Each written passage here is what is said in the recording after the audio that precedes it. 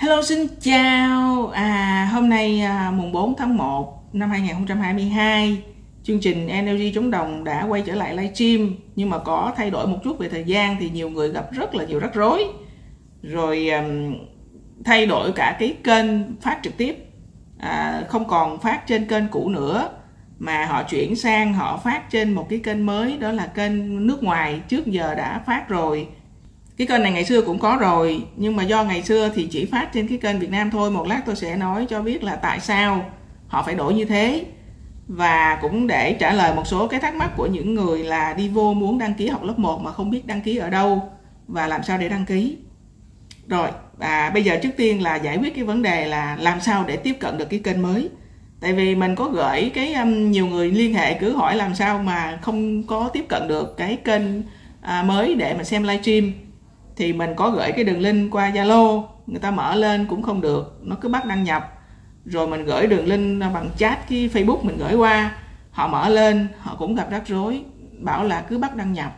Mà trong khi YouTube của họ đã đăng nhập rồi, mà mở lên nó cứ báo lỗi như vậy đó. Thì tôi nghĩ chắc cũng có vài người, tôi gửi cho hai ba người thì đều bị trường hợp như vậy hết. Thì tôi nghĩ chắc cũng không ít người gặp rắc rối cái vấn đề này.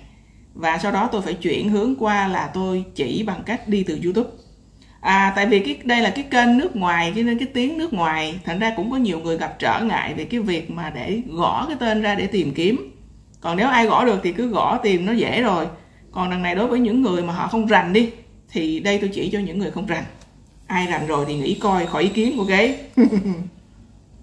đây bây giờ à, đầu tiên mình sẽ mở cái youtube của mình lên. Ừ. Thì à, mọi người tham gia hầu hết đều biết cái kênh youtube cũ rồi đúng không? Rồi, bây giờ mình mở cái kênh youtube của mình ra. Mở youtube lên. Rồi. Sau đó mình sẽ vào cái mục đăng ký. À mọi người khi coi youtube để ý nha.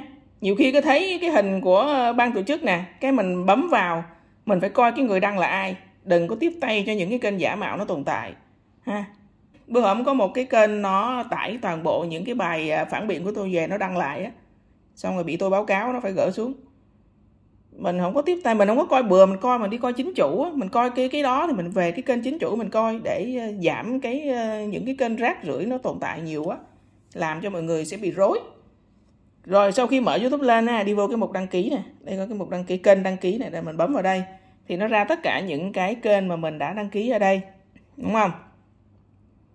Thì à, ở đây ở đây tôi đăng ký ít thì nó hiện ra ngay đây, nó dễ rồi bây giờ đối với những người mà người ta đa, mọi mọi người mà đăng ký nhiều kênh quá đó, thì sẽ không có nằm ngay đây như tôi đâu. Cho nên tôi chỉ đi cái cách chung nhất nha, là mình bấm vào cái mục tất cả này, để nó hiện tất cả những cái kênh mà mình đã đăng ký. Rồi, sau đó mình bấm vào cái kênh, mở cái kênh nó lên, bấm vào cái kênh cũ Energy Việt Nam nè, mở lên. Rồi, sau đó mình kéo qua bên đây. Để để chắc ăn á, để chắc ăn mình muốn biết cái kênh của mình đăng ký có đúng không thì mình bấm vào cái trang chủ nè đó, kênh kênh cũ à, đây là kênh cũ nha, Energy Việt Nam là kênh cũ nè.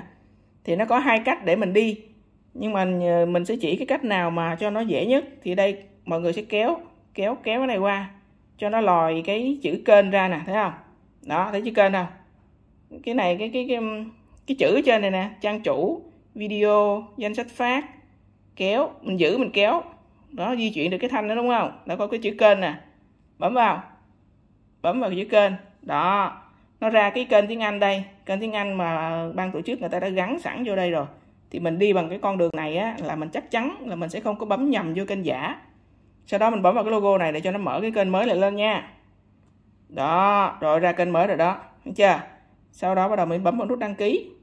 Bấm vào nút đăng ký. Rồi, xong. Bật chuông lên. Bấm vào cái tất cả ở trên này nè. Rồi thấy cái chuông nó chớp chớp vậy á nó nó đen đen chớp chớp vậy là mình đã đăng ký xong rồi đó. Thì sau này nó à, phát sóng gì đó thì nó sẽ báo cho mình. Thì đây đây là kênh mới mình đã đăng ký xong. Thì khi nào mà có cái chương trình à, livestream thì thì nó sẽ phát thông báo giống như là mình hồi xưa mình đi kênh cũ vậy thôi. Nhưng mà ở đây tôi đang chỉ cái cách là mình đi từ kênh cũ đi qua để mọi người khỏi phải rối đi tìm. Đó, làm lại lần nữa cho nhớ nha. Đây làm lại lần nữa nè đó mở cái kênh youtube ừ, mở cái trang youtube của mình lên. Rồi sau đó bấm vào cái mục kênh đăng ký ở dưới này. Nè kênh đăng ký đây. Bấm vào đây. Đó sau đó chọn vào tất cả. Đó rồi bấm vào cái kênh mà, mà Energy Việt Nam cũ mà bữa giờ mình đang coi livestream hồi xưa giờ đó. Bấm vào đó. Rồi sau đó kéo qua. Kéo qua đây cho nó loại cái chữ kênh ra nè. Bấm vào cái chữ kênh rồi đây là cái kênh mới kênh tiếng Anh. Bấm vào rồi ra kênh mới xong. Đăng ký bấm vào nút đăng ký là xong ha. Đây tôi đã đăng ký rồi. Rồi cái vấn đề đăng ký xong rồi. Bây giờ qua một số cái vấn đề cần lưu ý là ừ, kể từ ờ, nay trở đi à, chương trình không có phát sóng trên kênh cũ Energy Việt Nam nữa.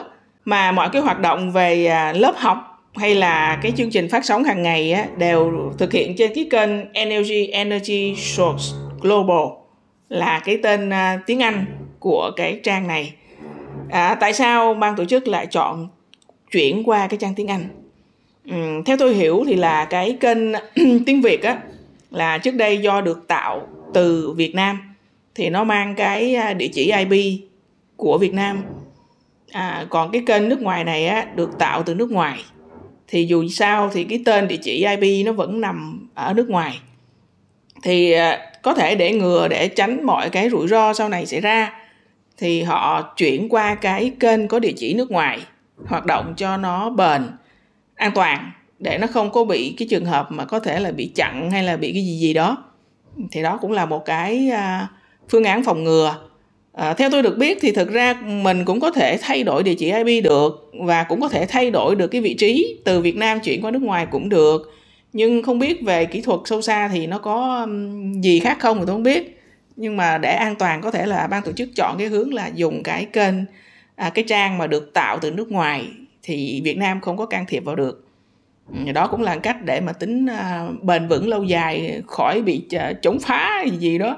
Thì là làm cho mọi người tham gia cũng phải cố gắng lên một tí à, thay vì à, hồi xưa dọn sẵn trên miệng rồi chỉ việc tới giờ ngồi học thôi tới giờ ngồi coi thôi mà nhiều khi cũng còn không coi được cũng còn mệt mỏi cũng còn ngủ gục đúng không? Thì bây giờ muốn học nó phải trải qua rất là nhiều những cái khó khăn thử thách nữa.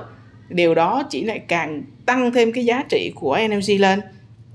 À, bây giờ đi học nha không còn được ưu tiên như ngày xưa tại vì Việt Nam bây giờ không phải là đối tượng chính người ta nhắm tới mà bây giờ làm một chương trình là cho toàn cầu theo dõi luôn. À, thay vì ngày xưa họ phải tách ra làm hai à, dạy riêng cho Việt Nam rồi dạy riêng cho cái nước ngoài thì nó cũng hơi mất thời gian họ phải tổ chức nhiều lần. Thì giờ họ gom cho họ tổ chức một lần thôi. Ai coi được thì coi. Tiếng ai tiếng nào thì coi tiếng đó. Họ nói luôn cả hai thứ tiếng. Ừ, thì nó cũng giảm tiện được cái công việc mà họ phải khâu tổ chức nhưng mà người coi sẽ cực hơn một chút thì cái chuyện mình tiếp nhận một cái gì nó có giá trị mà mình phải cực thì cái đó cũng là cái đánh đổi xứng đáng. Chứ ờ, cái gì cũng miễn phí hết thì họ họ họ nhận được một cái cái điều gì đó họ dễ dàng quá họ không có trân trân trọng họ không có trân quý đâu. Mà họ phải uh, cực khổ rồi họ phải ờ, đánh đổi nhiều thứ để họ có cái đó thì họ quý hơn. Ừ, cho nên bây giờ chương trình buổi sáng sẽ dời qua là từ 9 giờ còn không biết sau này còn thay đổi hay không chưa biết. Nhưng mà hiện tại bây giờ là chương trình đang ở cái thời điểm là 9 giờ. À, bắt đầu thì tới 9 rưỡi là bắt đầu nhận năng lượng. Cho nên mọi người hôm nay 9 giờ vô không thấy đâu trơn bắt đầu tá quả lên rồi chạy ra chạy vô đi làm loạn xạ sẽ ngầu hết. 9 rưỡi mới nhận năng lượng. 9 giờ chương trình bắt đầu khoảng gần 10 rưỡi là hết. Đó là chương trình livestream hàng ngày. Rồi à, cuối cái tuần này có lớp học lớp 1 à, ngày mùng 8 và ngày mùng 9 tháng 1 năm 2022 rơi vào thứ bảy và chủ nhật. Nhưng à bây giờ không còn sung sướng như ngày xưa. Ăn xong 8 giờ lên ngồi học ờ, vẫn râu ra còn không học được đúng không? Thì bây giờ lớp học được đổi sang giờ linh ha, học từ 11 giờ đêm tới 1 giờ sáng. Đó tăng độ khó lên kiên trì ai kiên trì ai hạ quyết tâm mới có được chứ không phải khơi khơi. Bây giờ muốn có không có khơi khơi nha bây giờ phải đánh đổi đánh đổi còn thêm đánh đổi gấp đôi gấp ba ngày xưa nữa mới có đó. Thì à, lớp 1 mà học à, 3 tiếng à, 11 12 1 à, lớp 1 học khoảng 2 tiếng chứ còn tới mấy cái lớp cao hơn ờ, họ học 3 4 tiếng cho lên là chắc cũng phải tới sáng. Mai mốt muốn đi học energy là phải thức sáng đêm hiểu không? Ngày xưa hả, học từ lúc chập tối cho học giờ vàng thì mọi người còn à, cái gì um, cái gì, gì gọi là cái gì đó ống ẹo ờ, ống ẹo không học đồ đúng không? Bây giờ học qua giờ linh. Ngày xưa học giờ vàng chê không học giờ học giờ linh cho biết. Và một cái khó nữa nè bây giờ học là học song ngữ á chứ không phải là học nói tiếng việt nghe từ đầu đến cuối như ngày xưa đâu ha? Bây giờ nghe song ngữ thì nó có cái trở ngại ở cái chỗ là ngay cả bản thân mình mình làm việc mình tiếp xúc tiếng anh hàng ngày luôn mình chat mình gõ chữ mình đọc mình hiểu hết. Nhưng người ta nói mình không nghe không được thì cũng không khác gì các cô các chú lớn tuổi cả. À, nhưng mà ít ra là mình cũng đã từng tiếp xúc tiếng anh mình cũng đã từng học tiếng anh. Mà khi đến cái chỗ mà dịch á mình nghe mình còn ngán mình nghe mình còn chán đúng không? Thì đối với những người mà không có biết cái gì hết trơn thì đó cũng là một cái rào cản lớn đó cũng cần phải vượt qua đó. Cũng hơi bị bị bị dễ dễ bị nản lắm á. Nếu mà không có kiên trì là dễ bị nản dễ bị ngủ quên lắm á. À, thì đó cũng là một cái giá phải trả. Ừ, khi mà mình không bảo vệ được quyền lợi của mình mình để mất đi cái quyền lợi của mình thì bây giờ mình là hưởng ké hiểu không? Mình đang có quyền lợi mình đang được đặc ân mình không không không chịu à, mình không chịu bảo vệ. Thì bây giờ không còn cái cái, cái ưu tiên đó nữa. Thì giờ mình gọi là người xài ké xài chùa xài theo. Gọi là người ăn ké ăn theo. À, khỏi đòi hỏi. Ừ. cái lúc mà có có điều kiện còn lúc lúc mà còn có cái cơ hội đòi hỏi thì không đòi hỏi thì bây giờ không còn không còn cơ hội nữa. Bây giờ có làm sao hưởng thế? Nhưng mà dù sao có cũng còn hơn không đúng không?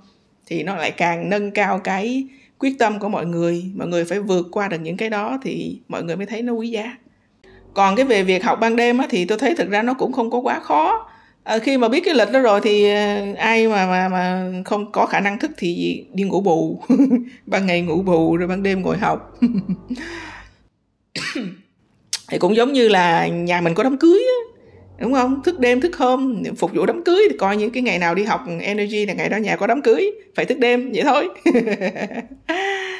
Cho nên nắm được cái lịch rồi thì cứ tới giờ mà vô mà vô mà nó nghe tiếng anh á đang nói tiếng anh thì chờ đi mà chờ một xíu đi họ sẽ nói tiếng việt ha. Chưa gì hết vô cứ rối tung rối mù lên xong mà chạy ra chạy vô rồi cuối cùng vào được xong thì hết chương trình. Rồi à, nhiều người hỏi là làm sao để đăng ký được lớp học? Họ muốn học lớp 1 à, ờ, lớp 2, lớp 3 gì đấy cứ mỗi cứ mỗi lần có lớp là bắt đầu họ hỏi làm sao để đăng ký. À, tôi nói khổ ghê luôn gì đó. Ừ, nếu như mà ai mà biết công nghệ á thì sẽ không hỏi câu đó. Cho nên những người nào mà không biết công nghệ á thì cũng từ đây cũng không cần hỏi câu đó nữa nha. Tôi chỉ cho một cách dễ lắm à đăng ký theo dõi cái kênh youtube mới đó hồi nãy mới chỉ đó. Cái kênh mà NLG Energy Sources Global. Đó tôi đọc mà tôi cũng trẹo lưỡi nữa là sao mấy người kia đọc được. Thì đăng ký kênh nó xong rồi. Rồi à, có Facebook hay là cái gì đó. Hoặc là mình theo dõi hàng ngày rồi. À, theo dõi livestream hàng ngày rồi thì khi nào có lớp họ thông báo rồi. Họ sẽ thông báo là ngày mấy ngày mấy có lớp rồi thì mình cứ canh cái giờ đó. Người ta livestream trên youtube đó mở ra ngồi coi là học rồi. Đâu có cần phải đăng ký đăng củng gì còn ai mà có điều kiện có khả năng tiếp cận công nghệ tốt thì bấm vào cái đường link mà họ gửi đó cái đơn mẫu đơn đăng ký đó bấm vào đó nó sẽ hiện cái mẫu đơn ra. Rồi hiện cái gì tên tuổi ngày tháng năm sinh địa chỉ gõ vô gửi đi là xong. Ừ. cái đó chỉ là một cái hình thức họ muốn à, thống kê xem là có bao nhiêu người học và cái à, đối tượng học ở đâu. Để sau này họ có một cái thống kê là à, cái môn học này đã được phổ biến ở các tỉnh nào nước nào đó là như vậy đó. Chứ thực ra mình có lỡ không đăng ký thì mình cũng học được mà. Chứ đâu phải là đăng ký rồi mới được học đâu. Cho nên là họ họ livestream mà livestream công khai ở trên cái kênh youtube. Thì cứ làm sao tiếp cận được cái buổi livestream đó là học được rồi đó. Còn cái chuyện mà mình rành về công nghệ, mình có thể giúp đăng ký thì mình tham gia cái đó cũng được là cái tốt. Còn nếu mà khó quá thì thôi bỏ qua đi. Ha, chỉ cần theo dõi cái kênh youtube đó bất cứ nhất cử nhất động gì của họ livestream nhào vô là học rồi đó. Không cần phải uh, uh, đăng ký cái gì gì lằng nhằng nữa. Cứ thấy livestream nhào vô là học rồi. Ừ. còn cái việc mà đăng ký danh sách đó chẳng qua là để họ thống kê xem năm nay à, đối tượng học ở các tỉnh thành nào. Thì khi họ khi mà họ có cái con số đó rồi thì họ sẽ nói là à, năm nay à, từ đó đến giờ chương trình họ đã Ừ, truyền ờ, ờ, tới bao nhiêu nước. Đó là nhờ như vậy đó, nhờ những người đăng ký như vậy thì họ nói được cái con số là bao nhiêu nước, bao nhiêu quốc gia, bao nhiêu tỉnh thành ờ, đối tượng là bao nhiêu người, ở tuổi nào. Nó là như vậy thôi. Chứ còn nếu mà mà có không đăng ký cái đó thì bạn vẫn học được. Chứ không phải là không đăng ký là không học được cho nên đừng có lo nha, cứ đăng ký cái kênh youtube thôi là xong rồi. Còn thích muốn cho cái tên của mình được nằm trong cái bảng vàng của gia đình energy thì nộp đơn vô còn không nộp thì cũng không sao cả vẫn học được bình thường. Rồi cái con số mà họ đăng ký cái đó cũng chỉ là tương đối thôi tại vì có nhiều khi một gia một gia đình có một người đăng ký thì cả ờ, gia đình đều học thì nó đâu có nói lên được là cái con số thực tế là bao nhiêu. À, con số đó cũng chỉ là nắm chừng để biết thông tin vậy thôi à chứ nó cũng phải là con số chính xác. Có một một người đăng ký thì cả gia đình đều học mà cho nên là không có quan trọng gì cái chuyện đăng ký đâu à, còn nếu mà mình rành thì mình giúp họ đăng ký để họ có cái thông tin lưu trữ. Còn nếu mà mình không rành thì bỏ qua khỏi cần phải thắc mắc. Ừ. thì à, đó là cái điều mà hồi sáng nay tôi thấy mọi người rất là rối. Ừ, cũng có nhiều người nhảy vô kênh tôi cầu cứu rồi cũng có nhiều người chat mà tôi làm cho mà cũng không có tiếp cận được. Thì tôi nghĩ rằng chắc cũng nhiều người lắm á. Với hay hiện tại tôi thấy số người đăng ký kênh đó cũng mới có 24 ngàn thôi, trong khi cái kênh cũ là tới 170 ngàn thì chứng tỏ rằng những người bên kênh cũ họ vẫn chưa biết cách để qua cái kênh mới. Cho nên cái số người đăng ký nó vẫn chưa cao. Thì trong cái thời gian chưa có lớp này mọi người chịu khó tìm hiểu, đăng ký dần đi là vừa để tới lúc mà có lớp rồi bắt đầu đi loại bỏ đi tìm không ra làm chậm trễ ảnh hưởng đến cái quá trình theo dõi